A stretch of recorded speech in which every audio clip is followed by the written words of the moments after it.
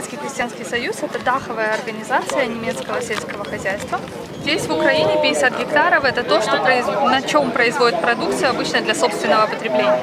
А Этот союз был основан как раз после окончания Второй мировой войны в 1948 году. Фермеры очень быстро а, поняли, что им необходимо объединяться, им необходимо координировать свою работу. Сначала на региональном уровне, потом на национальном уровне, потому как только если формировать единую позицию, единый голос, который представляет интересы всех фермеров, только в таком случае можно по отношению к политике достичь успеха, быть услышанным. А Если объединить, в общем, одна из главных задач Союза – это представление политического лоббирования интересов фермеров, а с другой стороны, они также занимаются определенной экономической деятельностью, в частности, они предоставляют а, определенные услуги их членам, фермеров. А самое первое, все-таки самое важное, они считают, это создание было единого представительства общих интересов всех фермеров.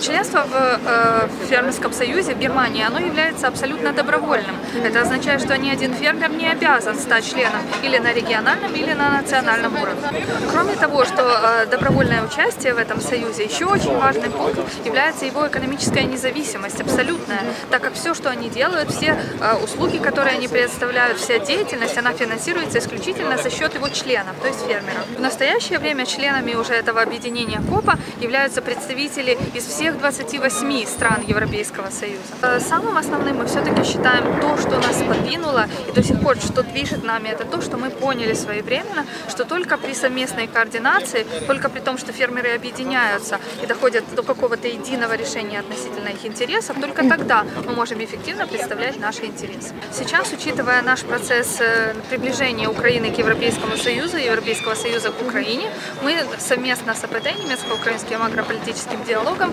начали задумываться о том, какая роль будет нашего союза в этом процессе. Мы увидели, что в Украине существует достаточно большое количество отдельных союзов, отдельных ассоциаций.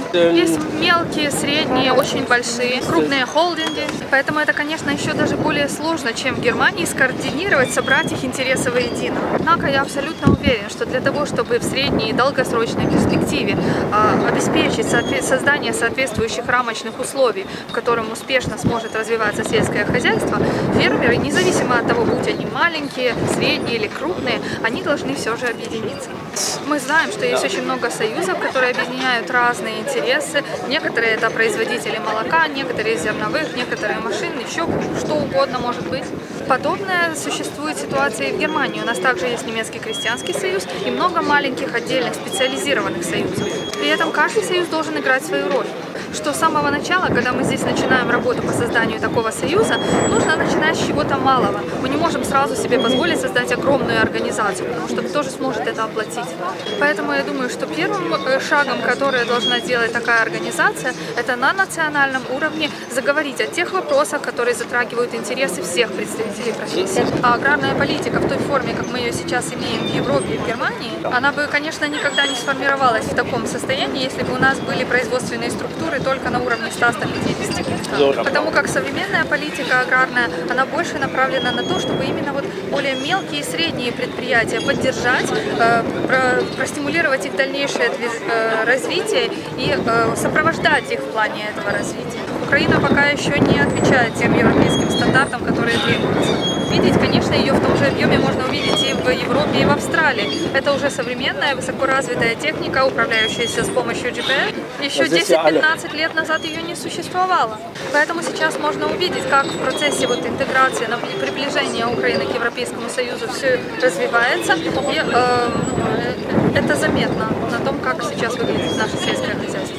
И, по- и я вижу, что есть еще определенный потенциал неиспользованный, что касается производства, что касается нашей урожайности. И для того, чтобы уже осознанно идти в этом направлении, достигать определенных результатов, я думаю, что День поля ДЛГ – это лучшая площадка для этого. Для того, чтобы именно увидеть, какие существуют возможности.